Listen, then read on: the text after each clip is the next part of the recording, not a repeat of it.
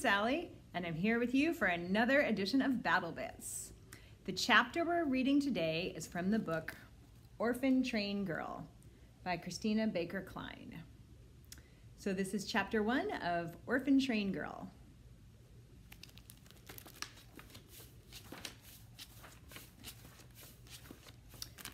Chapter one, Molly, Spruce Harbor, Maine, present day.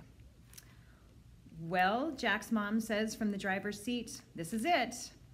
Molly, sitting next to Jack in the back seat of the car, eyes the house. Three full stories, more windows than she can count. Car carved curlicues around the roof. The white paint is fresh and gleaming. This is the house where Jack's mom works for a rich old lady. And now Molly is, maybe, going to work for that rich old lady too. All because she stole a book. Well, she didn't actually steal it, although it's true she was going to. Molly had been in the Spruce Harbor Public Library on her knees in the fiction section with three copies of The Secret Garden on the shelf in front of her. She'd pulled all three copies off the shelf, put the hardcover back, then the newer paperback too. The one she kept was old and dog-eared, the cover missing a corner, the yellowed pages beginning to come loose from the cheap binding. She figured nobody would miss it, and she slipped it into her backpack. But when Molly put the backpack over her shoulders and stood up, the librarian, Mrs. LeBlanc, swooped down on her like a homing pigeon. She called Ralph and Dina, Molly's foster parents. Dina hit the roof. Molly had way too many problems, she said. She never signed up for this, she said. Ralph calmed her down and called Lori, Molly's social worker. Why in the world would you try to steal an old book? Lori asked Molly. I don't know, Molly said. But that wasn't entirely true. The Secret Garden is all about a girl who has to leave her home and travel to a cold, rainy place where nobody wants her. A girl who scowls and sulks and says horrible things and still ends up with a home, a mansion actually, and a family. Lori came up with a plan for Molly to do 20 hours of community service. Dina grudgingly agreed that Molly could stay as long as she finished her hours. And Jack, who was the best friend Molly's ever had, heard his mom grumbling about needing to help Mrs. Daly clean out her attic and came up with the idea for Molly to do it instead. If Mrs. Daly likes Molly, if she says yes. Molly thinks it might have been simpler just to let Dina kick her out.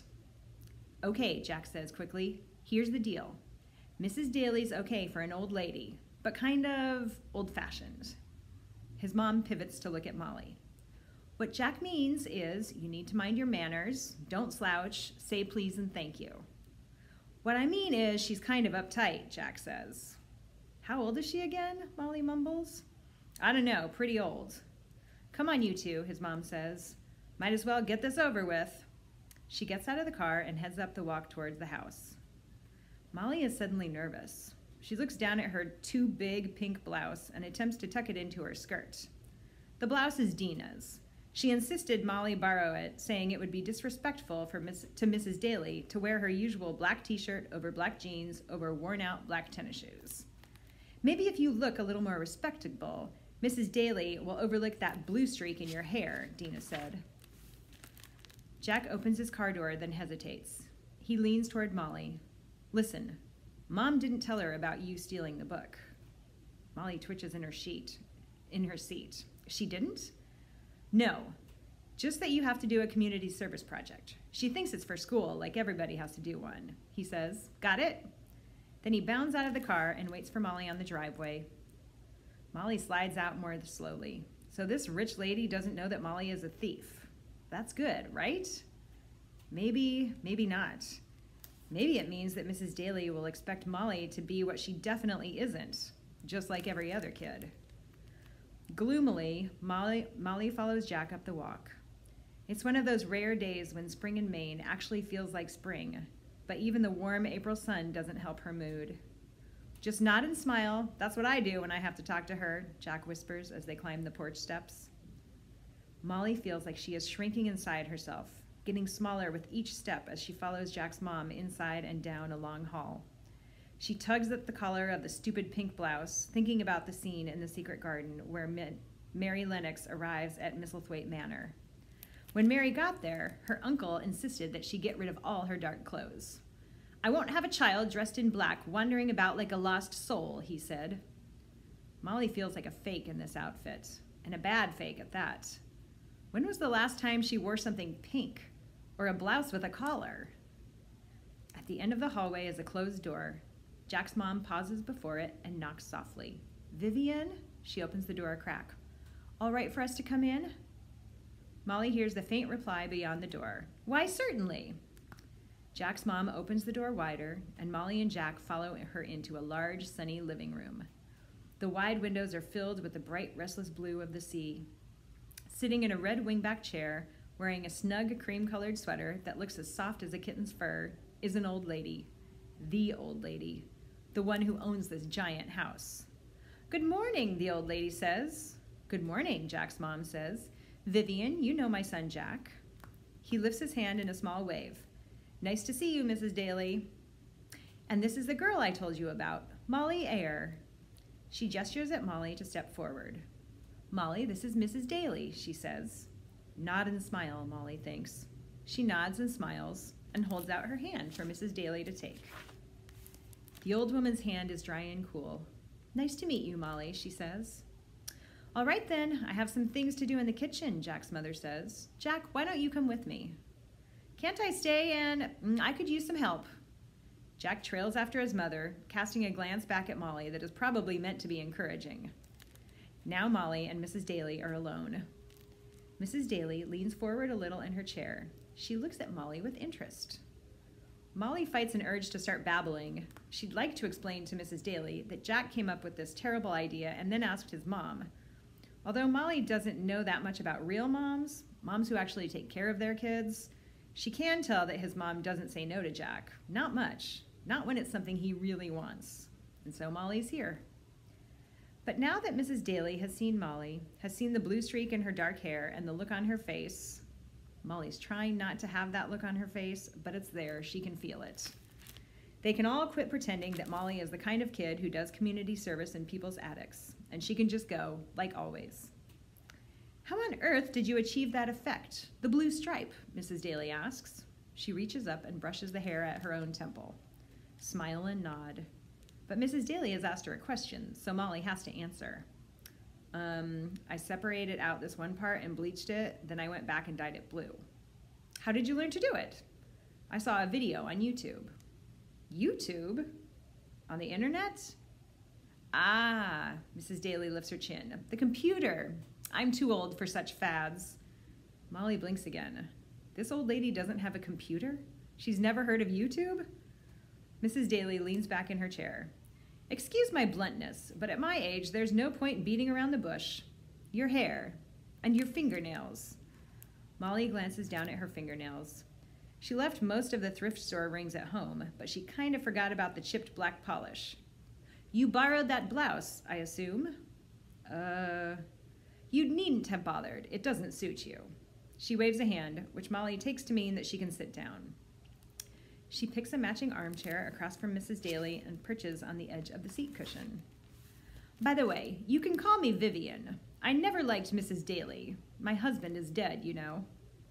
Molly nods, a little surprised at how blunt the old woman is. I'm sorry. No need to be sorry. It was eight years ago. Anyway, I am in my 90s. Not many people I once knew are still alive. Molly isn't sure what she's supposed to say to this. Sorry again? Or of course not? Maybe wow?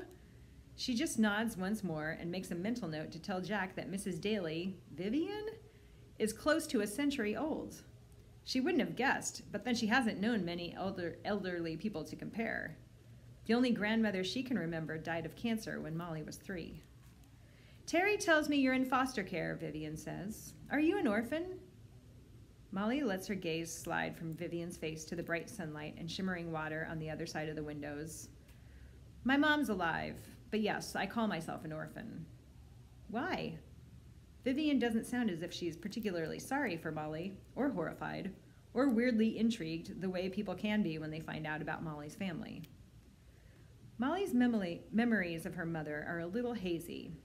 When she thinks back, she can recall the smell of their trailer, mildew and cigarette smoke, the way the TV seemed to be on all the time.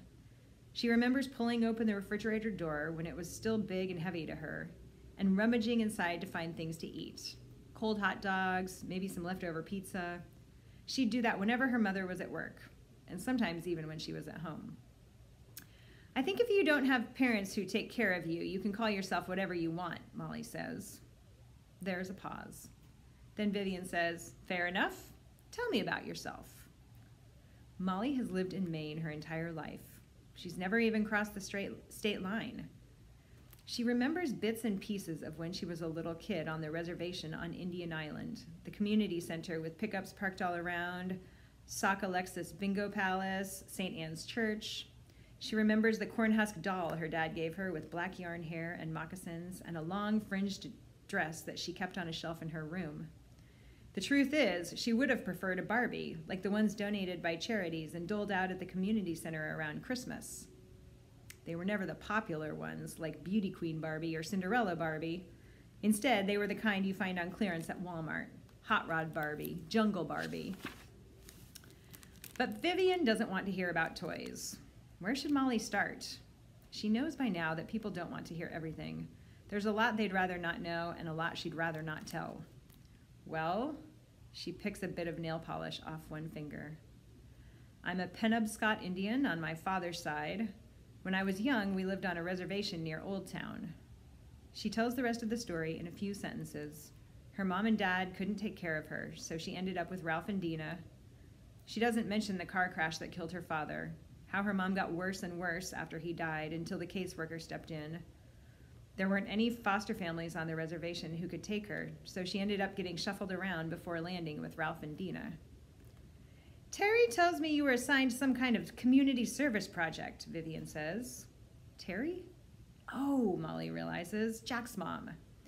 And she came up with the brilliant idea for you to help clean out my attic.